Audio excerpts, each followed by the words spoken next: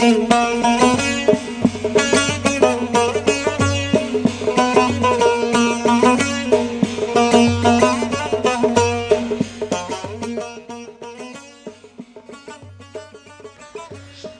ای ملت با غیرت این مرز کهن باد سلام به تو ای اردوی جان در کف بیداد شکن باد سلام. به تو ای مرد وطن دوست تو ای بانی جمهوری ما به تو ای دشمن پسمانی و غمخوار وطن باد. سلام. دوستان بیننده عزیز آینه خلم را سلام. ای دو بیت را که خواندم برگرفته از جریده افتوار ملی جهان نما که در سال 1351 خورشیدی مطابق 1973 نوامبر میلادی.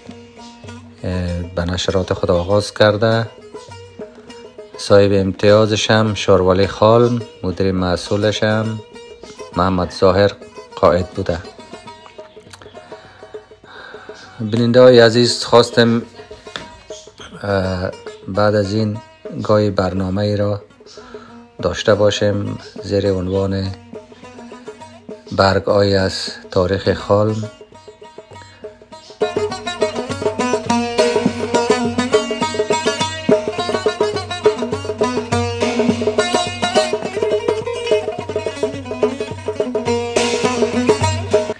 این شماره را که برای شما خانش می‌گیریم شماره مسلسل 44 شماره اول سال دوم.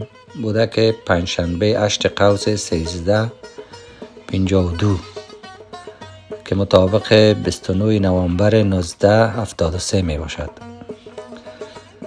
در صفحه نخست از تصویری از داود خان که تازه جمهوریت را در افغانستان اساس گذاشت و به حیث رئیس جمهور آغاز به کار کرد و به کرسی نشست. در اینجا در صفحه نخست عنوانش هم می‌خونیم که به اساس هدایت مقام ریاست دولت مواد امدادی جمعیت افغانی سرمیاشت برای آسیب دیدگان جمهوریت عربی مصر ارسال گردید. خیلی جالب است که اشاره بکنیم که در, در زمان افغانستان حتما اقتصاد خوبی داشته که توانسته به جمهوریت عربی مصر کمک کنه.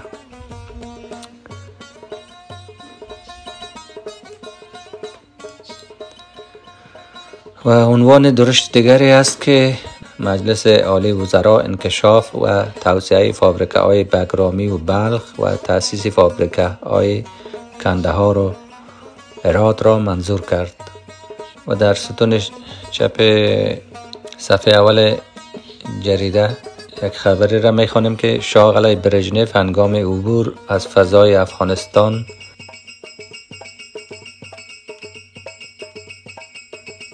اولین کاروان اوجاج امروز به صوب عربستان سعودی حرکت می کند. و عنوان درشت دیگری است که اف... افتاد دوسیه قضات که مستوجب تعدید شناخته شده بودند تحت مرور زمان قرار گرفته است. مذاکرات ایات فلسطینی با سران اتحاد شوروی پیش از عهد انتظار موفق می باشد ملل متحد بر هند را منطقه سال تصویب کرد.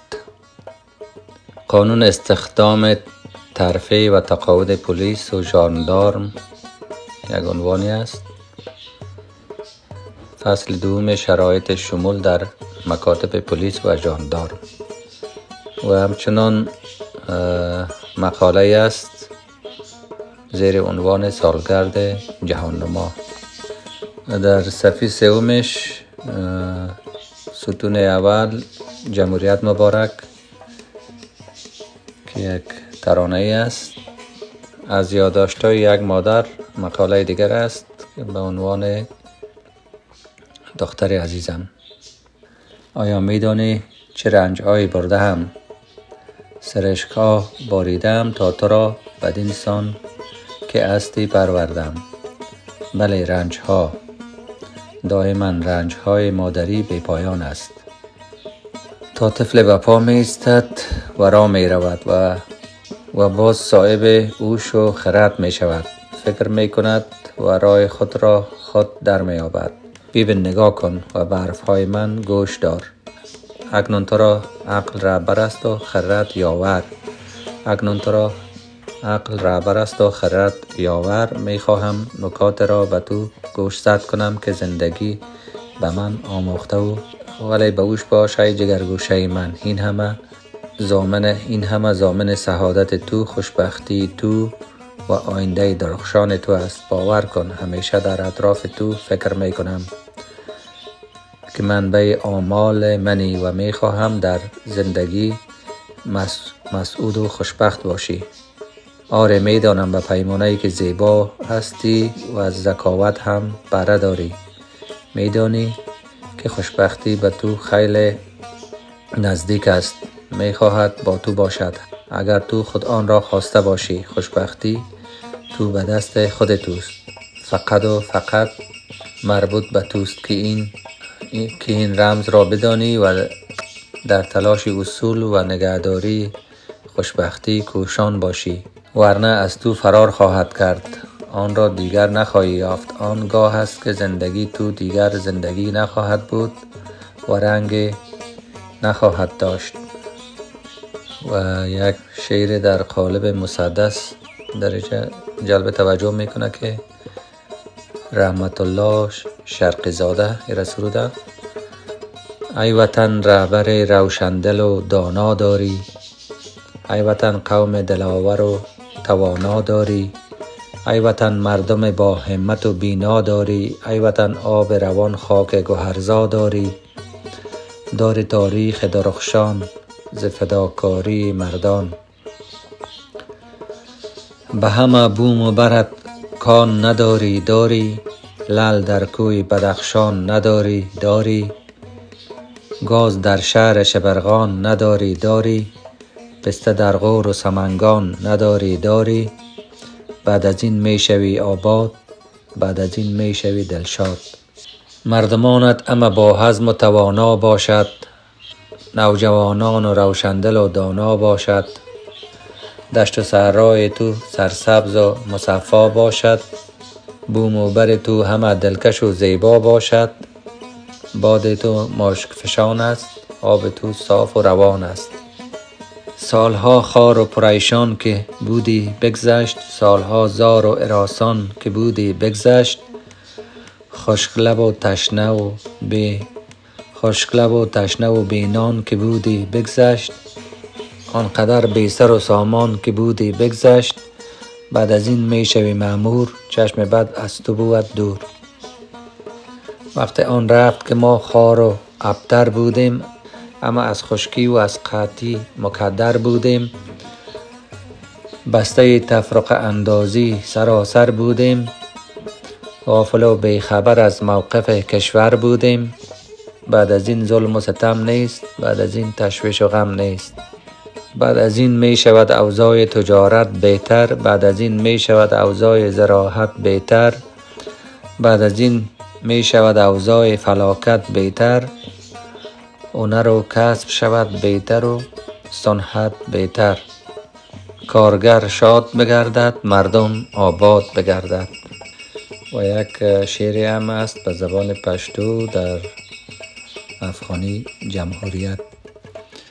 چه دگران ایواد د ارمغان د هوریت دی.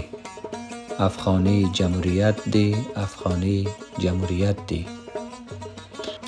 در صفحه چهارم این شماره جریده جهانما عنوانی است که اعضای حزب بر سر استقدار حکومت پاکستان با مخالفت شدید مردم مواجه شده است. در تولیدات فابریکه های نساجی کشور افزایش قابل ملاحظه رخ داده است. در منطقه چندوری فعالیت برخلاف حکومت پاکستان ازدیاد یافته و بین آزادی خواهان و پلیس تصادم شدید رخ داده است.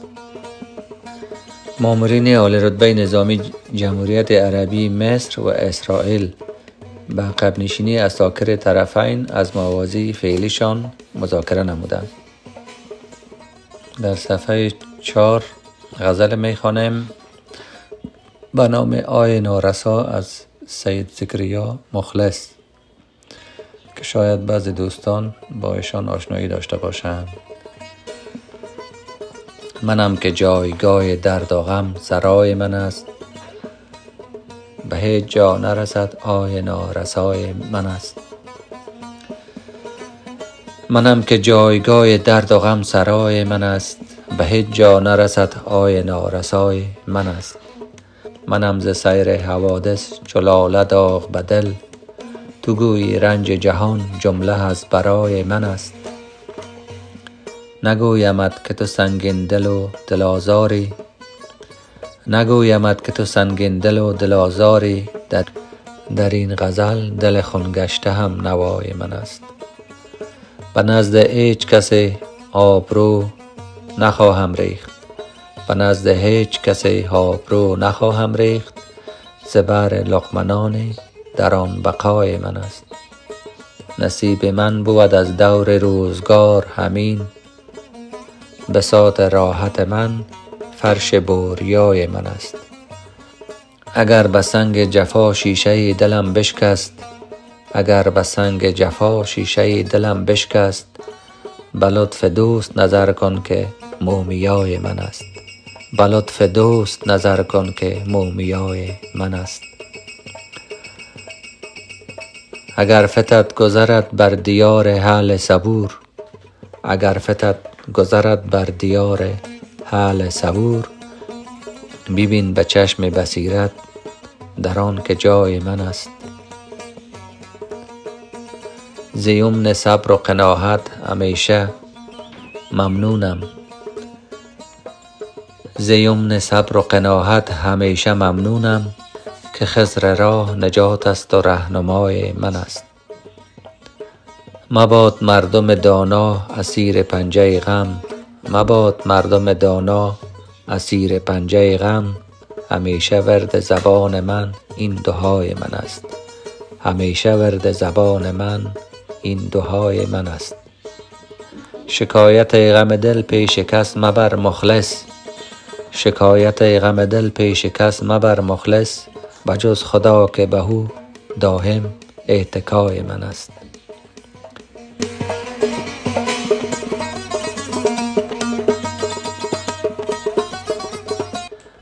و چند ضرب المثل های جالبم از شرق زاده می که از اصطلاحات معلی خالم در این صفحه گنجانیده شده. تاقچه به معنی تاق خانه. شاکاسه کاسه گلی که در بین هان شیر و ماست را می‌گیرند. تکودو پالیدن. کسو جنگ کردن. ککو شیرینی. ککه شیرینی. علو آتش. اندلک چیز مدور و گرد و کلوله. توپه یک آش می باشد که از خمیر و دوغ می پزند تیبنه. تیبنه سوزن کلان. تیله به پیش راندن.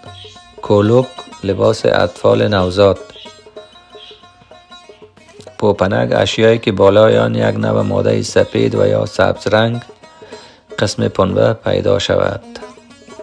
اشکلک ریسمانی که ناموزون تاب خورده باشد. اشکل پای گاو، خر، شتر و غیره حیوانات را به نوع بستن که سره را رفتن نتواند. دوستان عزیز ای بود بازخانه جریده جهاننما از سال 1352 شماره اول سال دوم.